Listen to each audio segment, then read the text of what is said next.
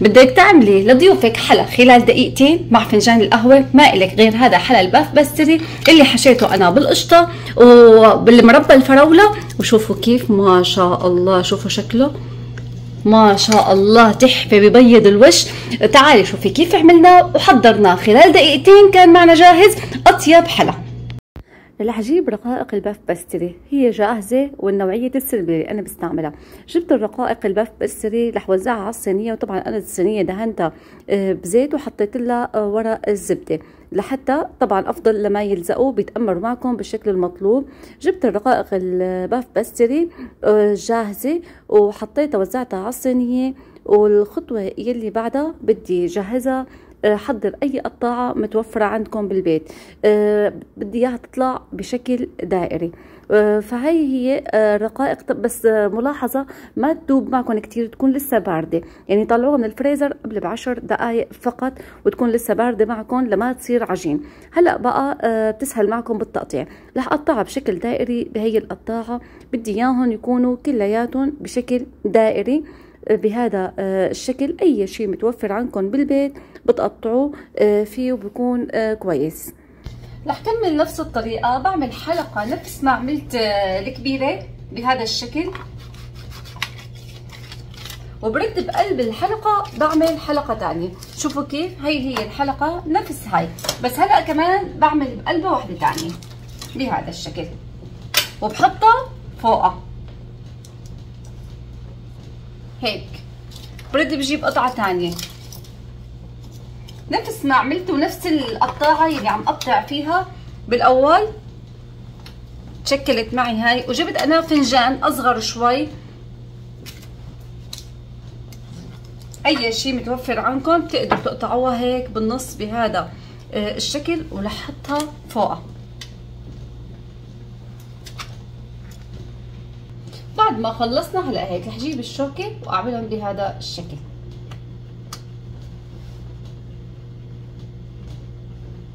من الداخل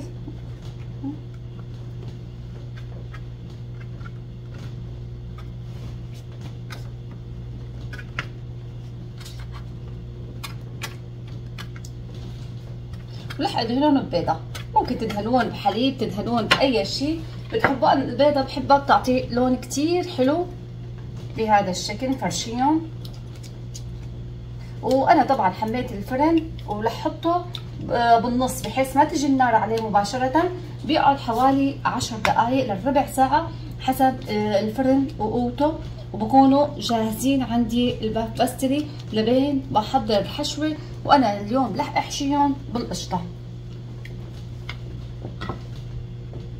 وهي بعد عشر دقايق طلعتها من الفرن شوفوا كيف حتى من الأسفل بهذا الشكل. طبعا هلا سخنين كتير. مستويين مثل ما قلت لكم. 10 دقائق كافي لهم بس رح أتركهم يبردوا شوي وبدي أحشيهم.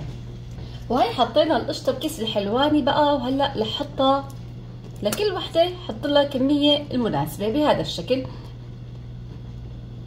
قد ما بتقدروا تحطوا حطوا.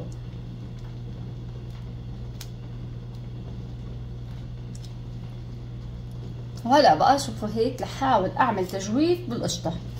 بهذا الشكل.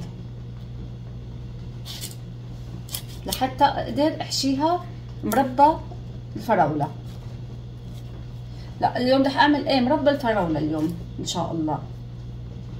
أي مربى بتحبين متوفر عندكم ممكن آه تعملوه.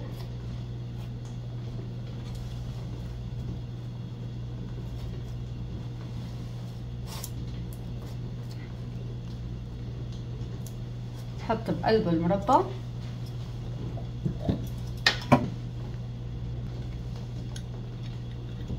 بالمعلقة حطوا شوي. طبعا المربى مع القشطة طعم غير شكل.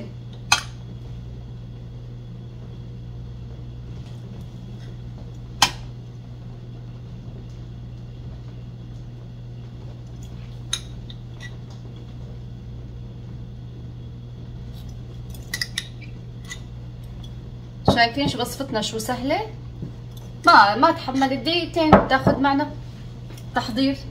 إذا عندك ضيف مستعجل بين آه، قبل أنت عم تحضر فنجان القهوة تقدري تعملي هذا الحلو؟ دقيقتين ما بدها. بهذا الشكل. طبعا هون كلها هي الزينة أنتو بتزينوها. الشيء اللي أنتو بتفضلوه أي شيء متوفر عندكم شيء أخضر بيعطيها اللون الحلو.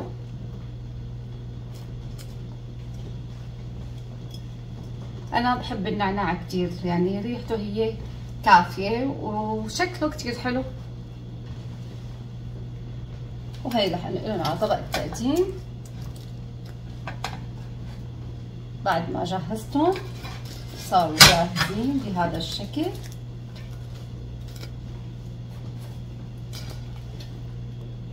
وهي صار معنا أطيب حلا بستري بالقشطة ومربى الفراولة خلال دقيقتين. فكرة كتير حلوة بتمنى إنها تكون عجبتكم. وتشتركوا بالقناة وتتابعوني لتشوفوا وصفاتنا السهلة والبسيطة وغير المكلفة مع مطبخ وحكايات إمجاد بنتم سالمي